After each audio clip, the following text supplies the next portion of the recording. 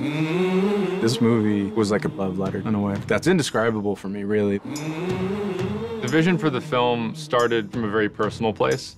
My dog Lulu, I had from six, seven, eight weeks old. We loved going on adventures and finding new places. Just me and her in a truck. During those road trips, I really did learn, I think, kind of the core of this film, which is just surrender. This is a road movie about a military dog, Lulu, and her relationship with Jackson Briggs. Briggs was a ranger, and when Lulu's handler, Riley, dies, Riley's parents have asked for Lulu to be at the funeral. Family funeral Sunday outside of Nogales. She won't work with anyone. One minute she's good, the next minute she's sending three guys to the ER. What's up, dog? And you're gonna go on a little road trip. Easy. What are y'all so scared of? Smell it out big time.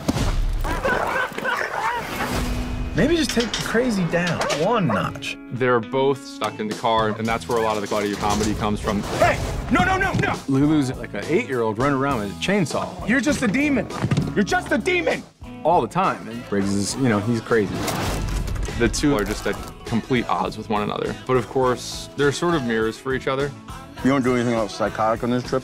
Maybe we could have some fun. Is that a deal, Shake?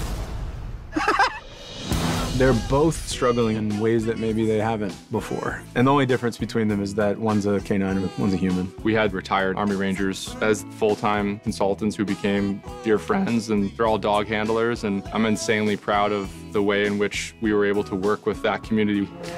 So good. You are so good. and then to have Channing working with the dogs that played Lulu, that was awesome. I mean, that's the foundational relationship of our movie. Let's not make this all emotional, okay?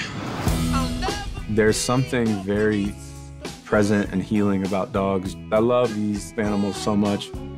And the experience that I got to go have making it with my buddy Reid was a labor of actual love, and that's enough for me.